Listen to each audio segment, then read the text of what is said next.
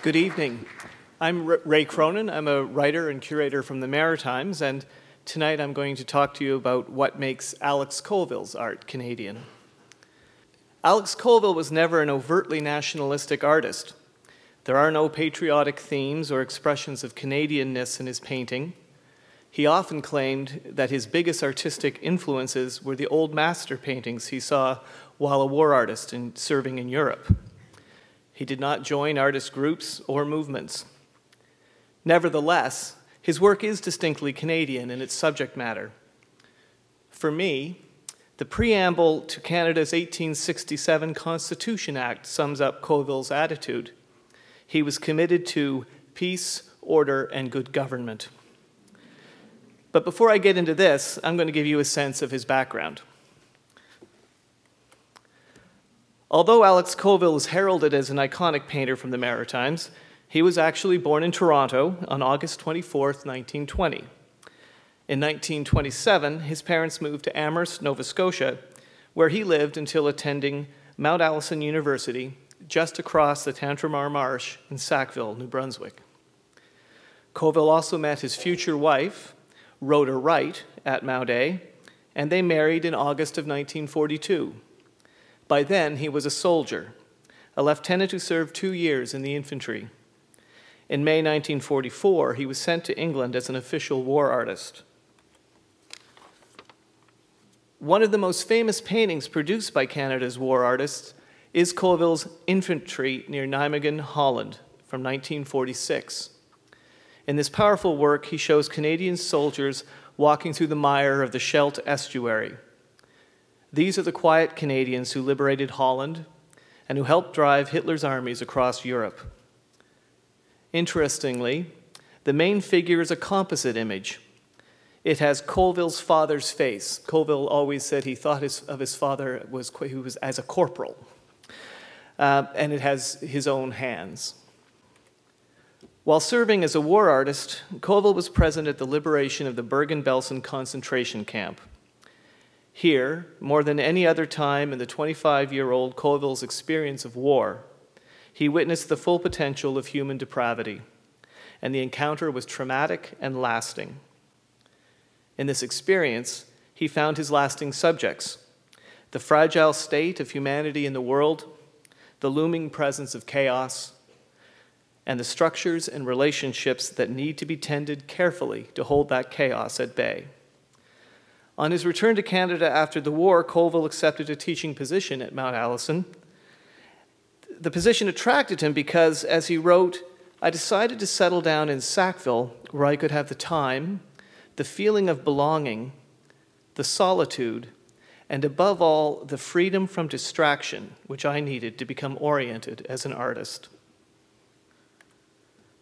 Much of what makes Colville's art Canadian is how rooted he was in the landscapes around the two towns in which he lived his adult, his adult life Sackville and Wolfville, Nova Scotia. In Family and Rainstorm, we see Rhoda and the children clambering into the car after the sudden onset of rain. Cape Blomidon is in the background, which places the setting on the Nova Scotia side of the Bay of Fundy, near Rhoda's hometown of Wolfville. The Colvilles still lived in New Brunswick when this painting was made, though they would move to Wolfville in time. This is a simple domestic moment, a mother looking out for her children. But like all Colville's work, it is a deliberate scene, an authority figure who has been vigilant and human constructed shelter at hand for the children. At a time when surrealism and abstract expressionism were major influences on Canadian painters, and when Canadian nationalism was a vibrant source in society, as we see in this work by London, Ontario artist Greg Curnoe, who depicted North America without the United States, Colville took his own path. His intellectualism, his attitude that reason trumps passion, and his reliance on tradition in painting distinguished him from the mainstream of critically acclaimed Canadian painters of his day. As journalist Robert Fulford noted in a 1983 profile of Colville, we can most profitably see Colville within the context of Canada. Not the Canadian art scene, but the larger field of Canadian culture.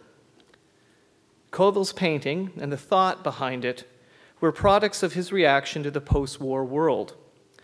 Colville, in his insistence on order, on making sense, echoed Albert Camus' definition of a metaphysical rebel as one who attacks a shattered world in order to demand unity from it. Colville is a man in revolt against a world that promises only tragedy Fulford maintained that Colville should be considered in the intellectual history of Canada, alongside such thinkers as George Grant and Northrop Frye, who had their own brand of conservative rebellion. When Colville retired from teaching in 1963, he began painting full time. In 1966, he represented Canada at the Venice Biennale, and in 1967, he designed these centennial coins. He chose animals for the coins because as he wrote in a statement for the Mint, it is a question of finding images which are worthy and appropriate for use in celebrating our country's centennial. Images which will express not merely some particular time, place, or event, but a whole century of Canada and even more. Natural creatures provide this enduring and meaningful continuum. Colville, an artist dedicated to expressing the human condition in a chaotic world, chose images of animals native to Canada in order to express something distinctly Canadian. For him, Canada, as a specific idea to be expressed in his commission, was best articulated by referencing the land and its animals. To me, that's as Canadian as you can get. In 1973, the Colvilles moved to Wolfville into what had been Rhoda's family home, and Colville lived in Wolfville until his death in 2013. As with Sackville, the landscape around Wolfville, the Annapolis Valley and Cape Blomidon, the tidal flats, marshes, and rivers of the Bay of Fundy, became the setting for his paintings. The vantage point of this painting is from the highway, coming in from the direction of Halifax. The overpass for the West Brooklyn Road is at the top of a long hill that slopes down into the lowlands of the Gaspereau Valley and the tidal marshes of Grand Pre. The next stop, for Colville anyway, was home. The waving figure in this painting was based on a real person, a man named Freddie Wilson, who for years stood and waved to oncoming traffic from the overpass. However, the actual figure painted here is the artist welcoming us to what curator Andrew Hunter described as Colville country. Thinking deeply for Colville happens wherever you are, and best happens with familiar things. Eternal and ultimately unanswerable questions Where are we going? What will the future bring us? How will we remember and be remembered? Are not answered, but are considered deeply in the simplest of ways. And to Prince Edward Island, for instance, the act of looking through binoculars contains worlds of potential meaning. What makes Alex Colville's art Canadian? It is its ability to convey what he fought for peace and order and an end to chaos. It's this and its rootedness in Canadian places, its ability to transform the mundane into the deeply evocative and to create iconic images that are familiar and fantastic at once. Thank you.